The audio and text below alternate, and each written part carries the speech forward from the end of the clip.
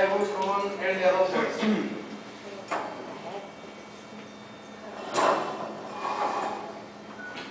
Disculpen que el sombrero tome un poco de posición de mí. Estamos en un momento en el tiempo donde la infraestructura es cada día más barata, donde no importa dónde hagamos los desarrollos de un producto. Estamos en un momento en el tiempo donde una de ustedes, uno de ustedes puede ser la persona que desarrolla una aplicación que dentro de un año o dos años puede estar cambiando la manera en la que interactuamos con la economía, con otras personas y con cualquier tipo de medio digital. Pero nada de eso va a pasar si no usamos nosotros mismos nuestras propias aplicaciones. Entonces, eh, estaba preguntándome el otro día, tratando de resolver la pregunta de cómo explicarle a alguien por qué invertir en México, por qué explicarle a alguien por qué tener mucha atención de lo que está pasando en el ecosistema mexicano. Y entonces, eh, de, de emprendedurismo mexicano. Estaba empezando a preguntarme, bueno, ¿qué tenemos y qué no tenemos? ¿Qué, ¿Dónde estamos fuertes? ¿Dónde no estamos tan fuertes? Y entonces estaba tratando de preguntarme cuáles son todos los factores económicos, sociales, culturales que hacen que un país pueda realmente explotar en cuestión de startups, en cuestión de emprendedurismo, en cuestión de hacer desarrollo de cualquier tipo de aplicación y que mucha gente lo utilice y que cambie la manera en la que estamos haciendo cosas. Y una de las cosas que me di cuenta es que estamos bien fuertes en un buen de cosas y podemos presumir un buen de cosas. Una de las cosas en las que no somos fuertes es en utilizar lo que nosotros mismos estamos haciendo. En lo que sale de estos dev causes y de muchos otros eventos que tenemos similares y que realmente nos comprometamos a decir, sé que hay una herramienta similar, que tal vez me resuelve un problema similar, que ya está disponible en otro lado, pero entiendo que hay un mexicano en algún lado que está haciendo una aplicación similar y que quiere un poco de feedback, que quiere saber por qué su aplicación no es tan útil, por qué no está teniendo mucha tracción. Y entonces, con eso en mente, dije, ah, sería bien padre resolver este problema. Entonces dije, bueno, pues no tengo mucho tiempo, eh, herramientas allá afuera, lamentablemente la que termino utilizando no es mexicana, pero eh, no así tan hardcore. Pero bueno, entonces dije, bueno, lo que a mí me interesaría sería resolver el problema de que todos nos enteramos de qué es lo que los demás estamos haciendo y que lo podamos utilizar, darles feedback y tal vez en algún futuro, si mejoran la aplicación o si ya están en ese punto, podamos convertirnos en verdaderos usuarios y decirles a otras personas.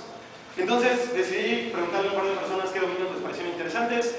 Eh, todos los dominios que me sugirieron tenían que ver un poquito con eh, hecho en México o cosas por el estilo, pero terminé comprando el earlyadopters.mx por una de las cosas que al mismo tiempo ha sido una problemática, pero es una problemática interesante, porque realmente creo que solamente las personas que ya, ya entienden el concepto de qué es ser un early adopter iban a poder pues, entender de qué se trataba. Entonces decidí poner una landing page muy sencilla, una forma de, de, de MailChimp, para que me pudieran dejar su correo. No estaba explicando qué es un startup, no estaba explicando qué es un early adopter, simplemente estaba diciendo, si tú te registras aquí te vas a las que lancen conforme van lanzando en México. Eh, de que la lancé en una semana recibí 160 correos porque lo posté en Facebook, en Twitter y muchas personas como que empezaron a darme el correo. Decidí escribir la primera eh, edición, me contactaron como cinco personas que querían poner eh, su startup allí. Y curioso porque la escribí y le pregunté a todas las personas en mi entorno y les dije, oye, ¿qué opinan? Y todos me dijeron, no, lanza nada más uno porque la gente no vale. Y pues valientemente y sin escuchar a todo mi entorno que estaba alrededor, lo mandé con todos los que me habían mandado esa semana.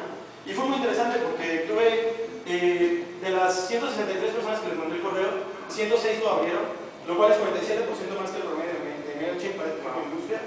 Y hubo 197 clics, lo, lo, cual quiere decir que tuve más clics que personas en la base de datos.